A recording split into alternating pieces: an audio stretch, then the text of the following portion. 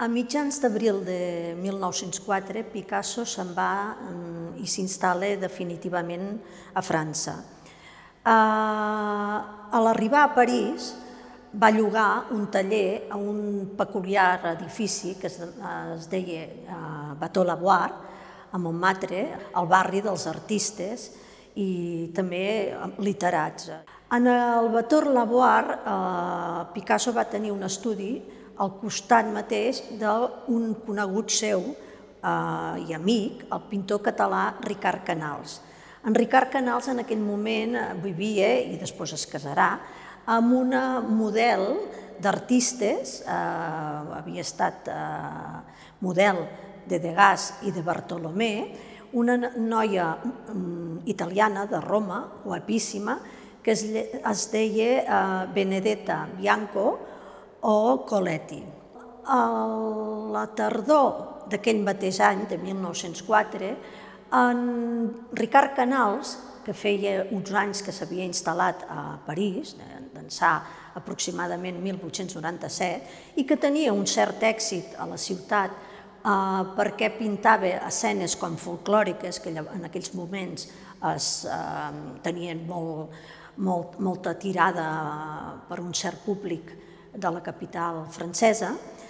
i que tenia com a marxant eh, en Duran Ruel, que era un marxant de l'època conegut, doncs eh, va pintar un gran quadre, que és una llotja de braus, en el qual hi havia eh, la dos noies amb mantellina, molt a la moda de les manoles de l'època, doncs espanyoles, mm, molt folclòrica,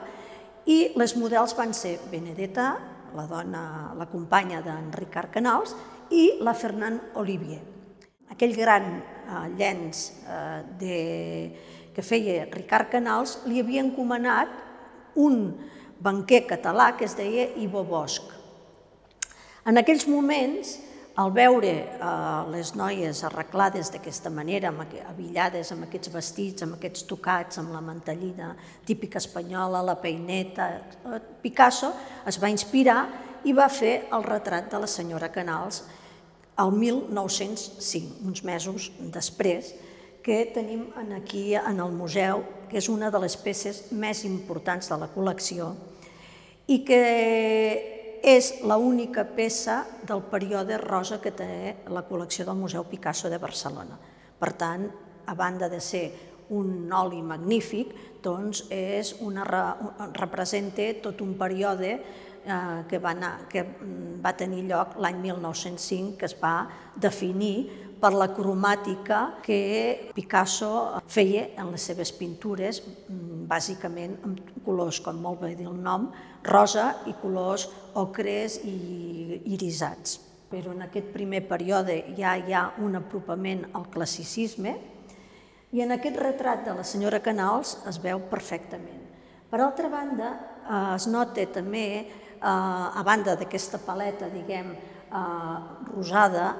ocre rosada, veiem una unificació de l'escena amb aquest eh, fons neutre que unifica i que dona les pautes de que el retrat va ser fet en un estudi neutre de fons, eh, anodí, diguem, però que al mateix temps el resseguiment que fa eh, Picasso de la figura i l'emmarcament que fa del rostre d'aquesta vella romana amb aquesta mantellina li configura una mm, volumetrització